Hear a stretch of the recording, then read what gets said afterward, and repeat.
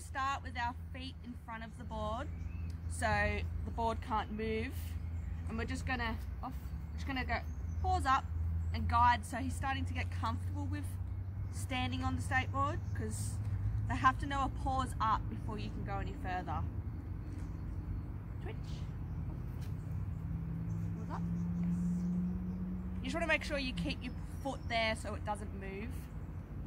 That's why I'm also starting on grass because the grass is nice and soft, whereas concrete or something that'll it'll roll a lot easier, whereas grass is a bit harder for the skateboard to roll. Go paws up.